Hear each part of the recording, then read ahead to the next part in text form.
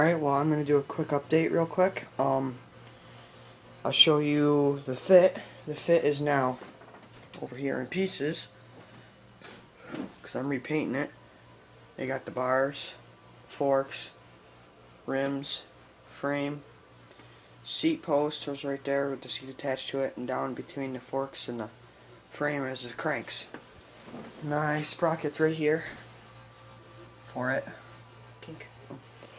Um, do a quick update on this. Everything's it's got my trigger lever, Odyssey trigger lever, um, kink slick linear cable.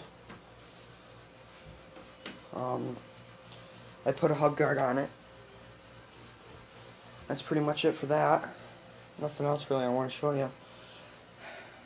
I need some help on some colors.